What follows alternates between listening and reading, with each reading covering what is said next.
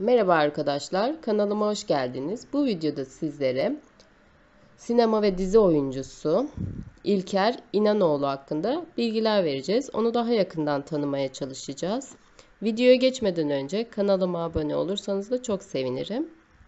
İlker İnanoğlu 20 Ağustos 1965 tarihinde İstanbul'da dünyaya gelmiştir. Yönetmen Türker İnanoğlu ve oyuncu Filiz Akın çiftinin oğullarıdır. Türker İnanoğlu'nun yönettiği 1969 yapımlı Yumurcak filminde de ilk başrolünü oynamıştır çocukken.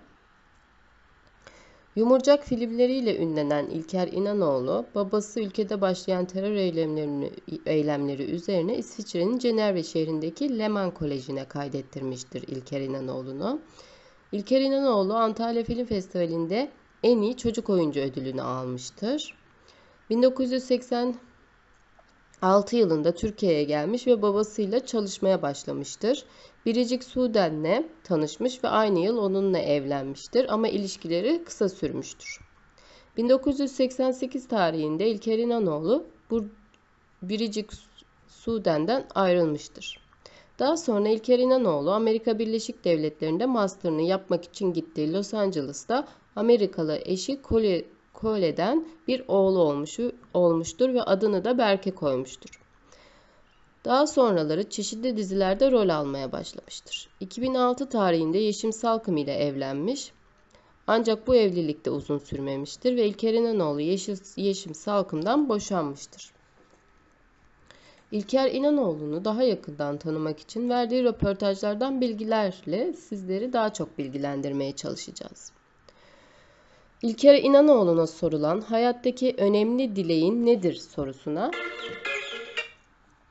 pandeminin bir an önce bitmesi, aşıların bu hastalığı önlemesi, herkesin rahat bir nefes alıp normal hayatına dönmesi ve sevdikleriyle yeniden bir arada olabilmesi demiştir.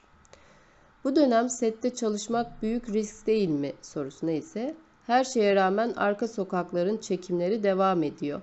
Sette Covid-19'dan korunmak için her türlü tedbiri alıyoruz. Periyodik olarak da test yaptırıyoruz. Çok kalabalık sahnelerde hepimiz biraz tedirgin oluyoruz. Demek ki doğru önlemler alınıyor ki meyvesini topluyoruz demiştir. Geçen yaz uzun süren bir rahatsızlık yaşadın neler oldu sorusuna 5 ay önce Bodrum'da tatil yaparken sağ bacağımdaki aşil tendonu koptu. Zor bir süreç geçirdim ve hala hafif topallıyorum. Çok ayakta kaldığım zaman ağrılar hissediyorum demiştir. Bir senedir Anabel ile flört ediyorsun. İlişkiniz nasıl gidiyor sorusuna. Oha biz ayrıldık şu anda hayatımda kimse yok.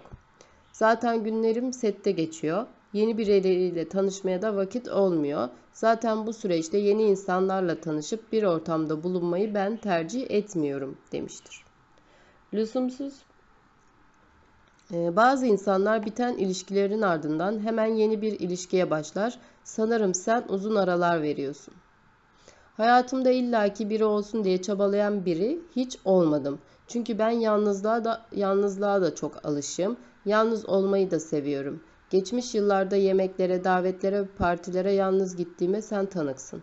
İlişkim olması şart değil. Yalnızken de mutlu olmayı başarabilen biriyim.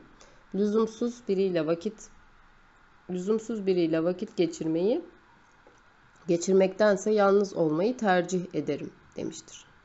Aşık olduğun sevdiğin kişiye bunu nasıl hissettirirsin sorusuna ise ona çiçekler alırım, hoş sürprizler yaparım. Mesela gitmek isteyip de gitmediği bir şehir ya da ülke varsa onu oraya götürmek beni mutlu eder. Sabah uyandığımda sevdiğimi doyasıya koklamak hayattaki en büyük mutluluğum demiştir.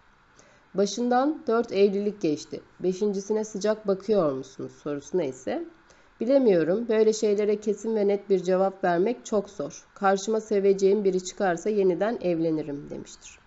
Oğlun Berker Alex nasıl bir çocuk? Annesiyle Los Angeles'ta yaşıyor. Üniversitede biyoloji okudu ve geçen yıl mezun oldu. Üniversiteye başlamadan önce sinema okuması için çok ısrar ettim ama beni dinlemedi. Şimdi kendiliğinden sinema ve televizyon işine girmek istiyor. Çok da şanslı çünkü annesinin Hollywood'da geniş bir çevresi, yapımcı ve yönetmen dostları var.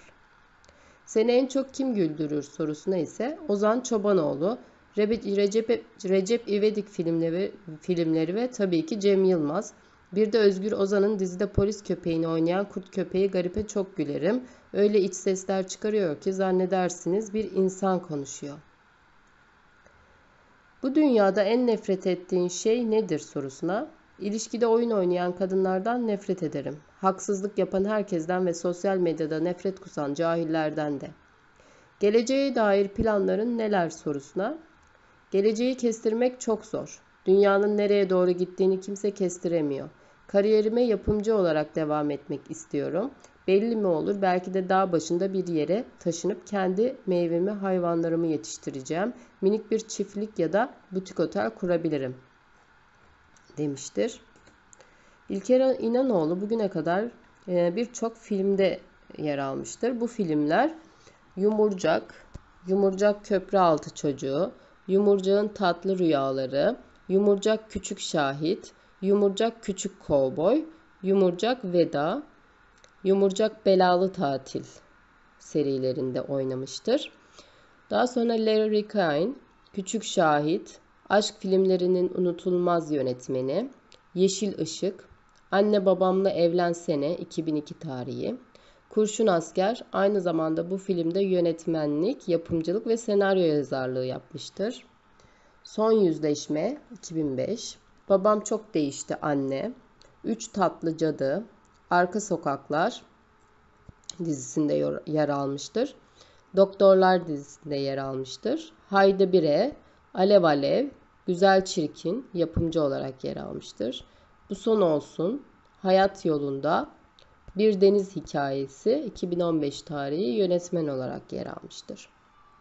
İlker İnanoğlu hakkında bilgiler vermeye çalıştık. Onu daha yakından tanımaya çalıştık. İzlediğiniz için çok teşekkür ederim. Daha fazla videoyla tekrar karşınızda olmaya çalışacağız. Şimdilik görüşmek üzere, hoşçakalın.